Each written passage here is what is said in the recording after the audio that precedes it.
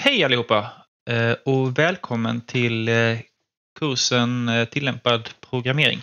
I denna video tänkte jag gå igenom lite vad tillämpad programmering innebär och vad det är vi ska lära oss i kursen.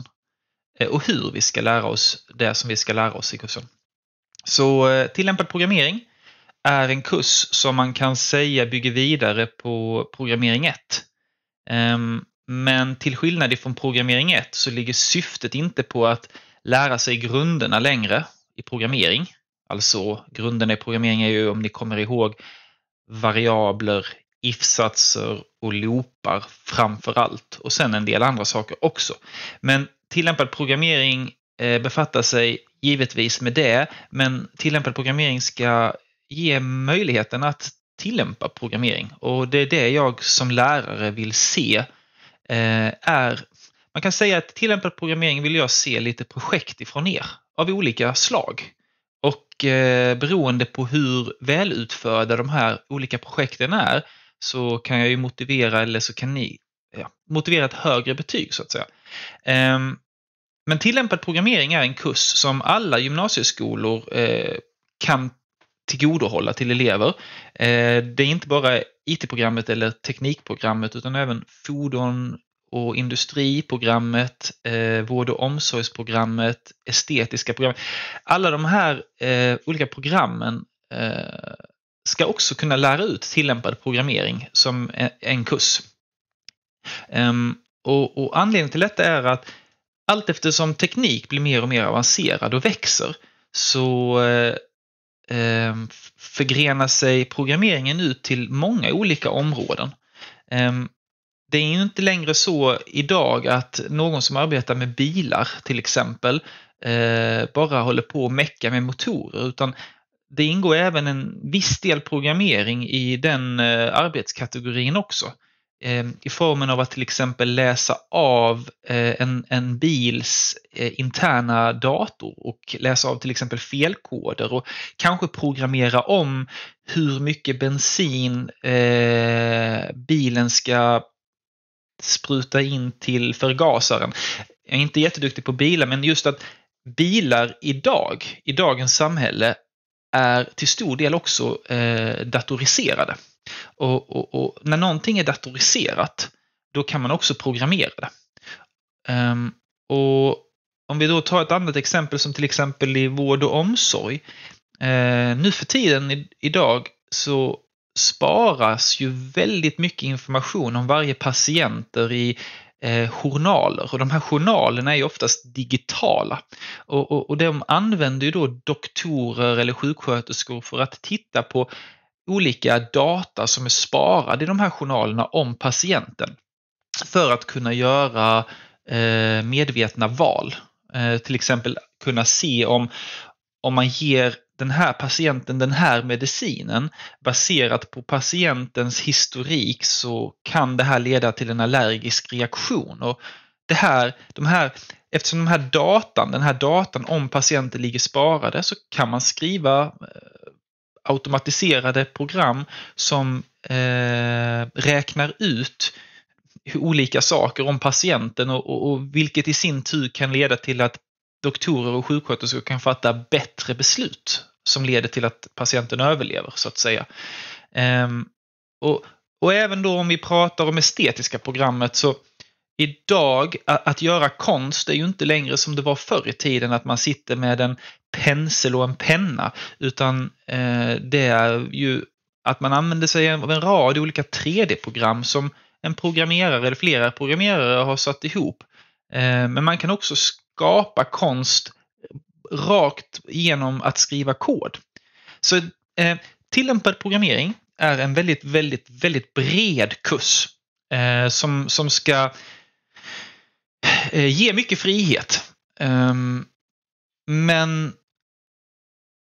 det leder ju också till, ur, ur, mitt perspektiv som lärare, så kan det bli svårt eh, att, att, att, att rätta testa alla olika typer av projekt. För även om jag är lärare så betyder inte det att jag kan allting inom programmering. För att programmering är ett så oerhört brett ämne. Men jag, det jag vill med kursen tillämpad programmering det är att ni ska få möjlighet Att göra det som ni känner er intresserade av och vill lära er mer om och grotta ner er i. Och Eh, jag ska visa lite exempel på vad detta kan vara. Eh, men man kan säga så här att i kursen tillämpad programmering så om, om ni som elever har ett område som ni är specifikt intresserade på och vill lära er mera om eller vill arbeta med, då vill jag att ni är eh, transparenta till mig och, och, och, och berätta detta så kan vi tillsammans bygga en plan som, som ni och jag och vi kan arbeta med för att eh, ja, tillgodose ämnet tillämpad programmering. Jag tror att eh, om man får arbeta med någonting som man tycker om och, och brinner av för eh, så eh, dels är det lättare att jobba med det och oftast blir ju resultatet av det man jobbar med bättre också. Eh, så, och, och då innebär det också att man lär sig mycket och, och det vill jag med kursen tillämpad programmering framför allt. Men för det är inte alltid så himla lätt att uppfinna eh, egna saker att jobba med, speciellt när man är ny inom något ämne.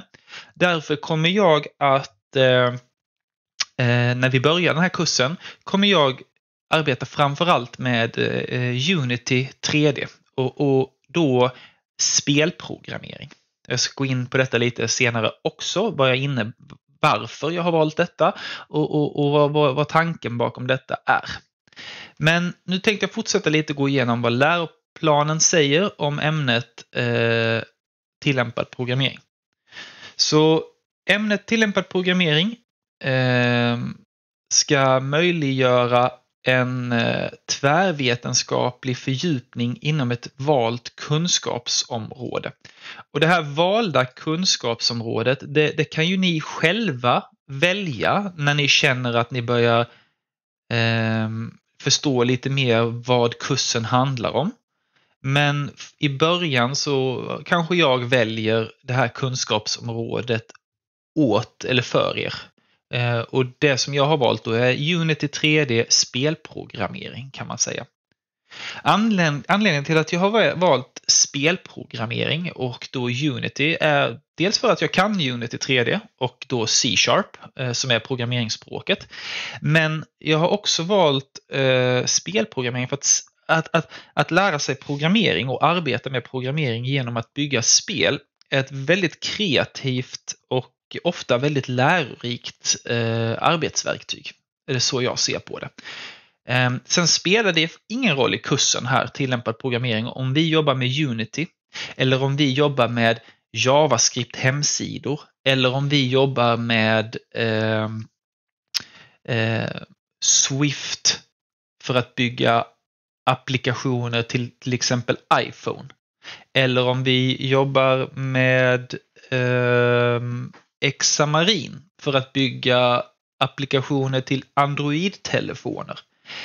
Eller om vi vill jobba med C++ för att skriva program som eh, ligger närmare hårdvaran i en dator.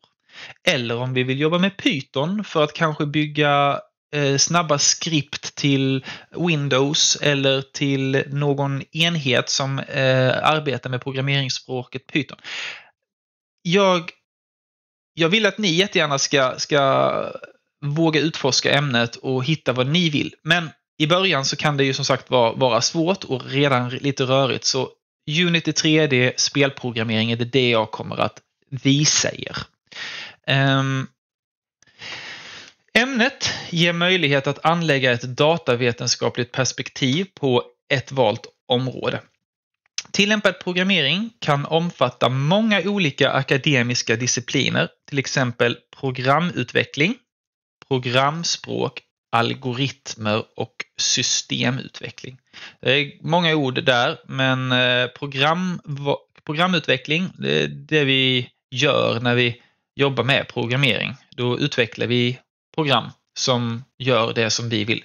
Programspråken som vi kan se här så säger de inte ni ska hålla på med Java utan eh, programspråk innebär alla möjliga typer av språk. Och då sa jag några innan.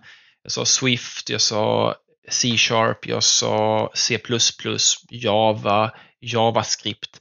Eh, det finns jättemånga olika eh, programmeringsspråk. Algoritmer är ju Ja, algoritmer är när vi som programmerare skriver många instruktioner så eh, kan man kalla de här instruktionerna, om man lägger ihop dem, eh, för algoritmer. En algoritm är en serie av instruktioner som utför någonting som vi har sagt att de ska utföra. Eh, till exempel kan det vara att sortera namn i bokstavsordning till exempel. Um, yes. Uh, samt kan vara kopplade till olika tillämpningsområden. Och här kommer det just det här som jag menar med tillämpad programmering är att programmering ska inte vara, eller tillämpad programmering ska inte vara nödvändigtvis vara uh, spelprogrammering. Det kan vara spelprogrammering och det är det jag har valt. Men om man vill hålla på med ekonomi då kanske man vill skriva en bot som köper och säljer aktier eller bitcoins eller något liknande. Ekonomi då helt enkelt. Eh, då behöver man förmodligen arbeta med ett helt annat verktyg än Unity 3D och C-sharp.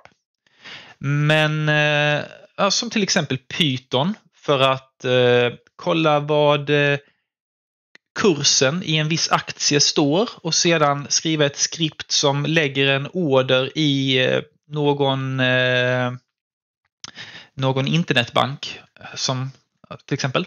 Så ekonomiska, eller så kan det vara att man ska bara titta vad eh, guldet, vad, vad guldet står i för kurs just nu. Eh, och om den kursen eh, går under något, något pris, då kanske man är intresserad av att köpa guld. Men då kanske man vill skriva ett program som kollar guldkursen och ger en en signal eller ett e-mail eller ett sms när guldkursen har sjunkit under ett pris till exempel. Så ekonomi är ju ett stort område som vi alla människor lever efter och det finns mycket att programmera och automatisera inom den här kategorin. Humanistiska, eh, det är ju sådant som eh, till exempel eh, hälsa. Alltså vi alla vill ju vara friska och må bra. Och då kanske man vill programmera, om man har en smartklocka, så kanske man vill programmera den smartklockan att säga Hej, nu har du suttit stilla väldigt länge. Är det inte dags att röra på dig? Och då så ger den här eh, smartklockan en eh, vibration och en signal till den som har smartklockan på sin arm. Kan man säga är ett humanistiskt sätt att tillämpa programmering på. Konstnärliga, eh, det kan vara eh, det kan vara instruktioner som, som ritar, eh, ritar eller skulpturerar eh, saker i datorns värld. Man kan ju säga också att Eh, 3D-printers till exempel som vi har på vår skola eh, kan man använda för att skriva ut 3D-modeller och det ju, kan man ju göra väldigt mycket eh, det kan ju väcka känslor och, och tankar och, och, och, till det här kan man också använda, vilk, används ju också givetvis programmering för att kunna framställa. Kreativa, medicinska, naturvetenskapliga, pedagogiska, samhällsvetenskapliga eller tekniska. Som sagt var, området programmering är oerhört stort och brett. Eh, och jag, jag vill att när ni läser den här kursen så ska ni inte känna er begränsade till det eh, utbildningsområdet som jag har valt utan jag ser jättegärna att ni själva också tänker och vill välja vad ni ska jobba med. Som ett exempel, så jag hade en elev för två år sedan eh, och den här eleven tyckte mycket om eh, akvarium och eh, hade då fiskar i sitt akvarium. Ett problem med akvarium är att de läcker, eller kan läcka.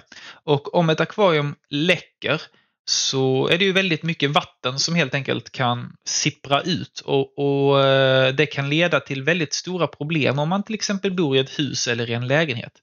Den här eleven eh, byggde då eh, ett, ett program men också en, en vad ska man kalla det för, en, en sensor som kände av om det blev vatten någonstans under akvariumet. Den kändes av fukt och då fick han sms på sin telefon. Det här programmet arbetade han med, eh, eller då, då när han arbetade med det här projektet så använde sig han av eh, eh, det kommer, jag inte, det kommer jag inte riktigt ihåg själv. Eh, inte Raspberry Pi utan eh, han, han, han använde sig av eh,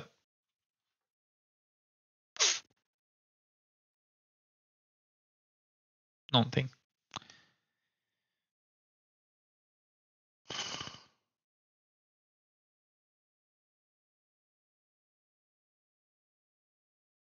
Um.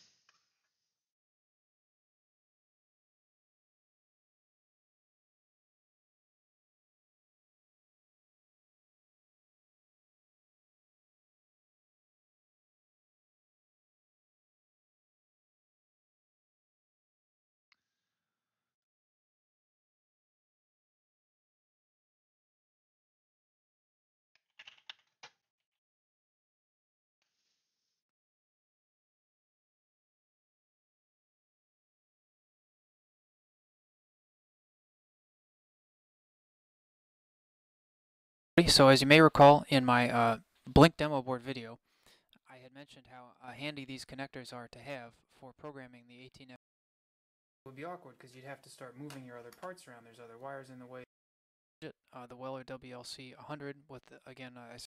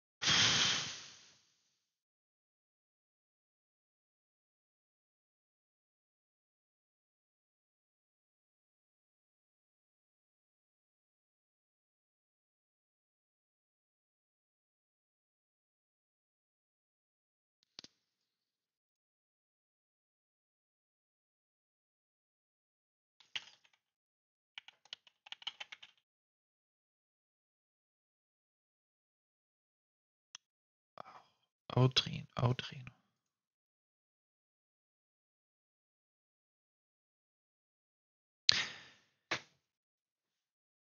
Så min elev eh, som höll på med akvariumet eh, jobbade då med eh, Audrino. Eh, och Audrino är en eh, mikrodator som man också kan koppla till en massa andra typer av eh, kontrollenheter. Eh, lysdioder, eh, vät, eh, fuktdetektorer och så vidare och så vidare. Ehm, och med den här så kunde han identifiera om en läcka hade uppstått och genom då också den här kontroll, kontrollbordet kunde han då skicka sms till sin mobiltelefon för att få en notifikation om att det här hade hänt. Så där har ni ett bra exempel på en elev som satte sig ut för att lära sig om eh, en, en Audrino och hur den fungerar och hur han kunde använda den för ett syfte. Och den här eleven fick då ett A i den här kursen tillämpad programmering. Det har ni ett exempel på ett, ett, ett, ett projekt man skulle kunna jobba med. Men det här innebär också väldigt mycket för eleven själv att ta reda på saker och eh, Ehm, eh, ta reda på hur man gör vissa funktioner, vilka olika enheter man behöver koppla för att få den här eh, funktionen och, och, få det här att fungera som eleven ville skulle fungera. Eh, jag har köpt in lite saker som jag hoppas att jag ska få. Eh, men jag vet ju inte om jag får detta ännu så det är därför jag också till viss del säger att vi ska jobba med Unity till en början. Ehm, de sakerna som jag köpt in är tre stycken Audrinos och eh, tre stycken Raspberry Pis. Och sen så har vi lite andra saker på skolan som man skulle kunna programmera och tillämpa programmering med också. Men också, i och för sig, eller som jag ville säga, tillämpad programmering är oerhört stort och oerhört brett område så att köpa in allt möjligt, det, det går inte heller. Så att efter ni kanske vet vad ni vill hålla på med, då kan vi se vad vi kan göra. Köpa in om vi behöver utrustning till exempel. Ämnets syfte. Undervisningen i ämnet tillämpad programmering ska syfta till att eleverna breddar eller fördjupar sina kunskaper och färdigheter inom programmering tillämpat på ett valt kunskapsområde. Och som sagt var, det väljer jag. Eh, efter ett tag så kanske ni väljer det själva. Elever ska ges möjlighet att fördjupa ja, eh, Yes. Egentligen är det det som är det här till en början som är det viktiga. Eh, detta här sen går igenom lite vad det är ni behöver för att få de olika betygen i ämnet och så. Eh, men ja, jag stannar här just vad det är vi ska jobba med. Ehm, ni kan alltid läsa på själva här på Skolverket vad det är för någonting som jag betygsätter på och vad det är vi ska göra för någonting. Men nu har jag förklarat Eh, just vad, vad, vad tillämpad programmering handlar om och det var det som var målet med den här videon. Så välkomna till tillämpad programmering och jag hoppas att vi ska lära oss mycket och att ni ska finna det intressant. Tack och hej!